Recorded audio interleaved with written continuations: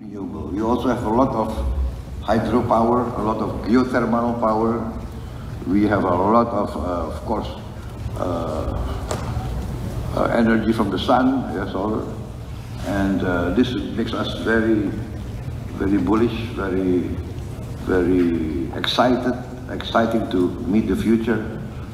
Uh, we also have critical minerals and uh, we plan to design and produce our own uh, nuclear reactors, nuclear reactors, so we can also work together with a Brazilian industry. Uh, in the field of fisheries, we are also uh, potential, very potential. I speak with the experts. We are, I think, maybe our reserves in fishing reserves in the world, we are number two or number three in fishing reserves. And uh, potential is very, very big. We have a need, a vacuum of 40,000 fishing vessels, 150 GT to 300 GT, 40,000 a vacuum.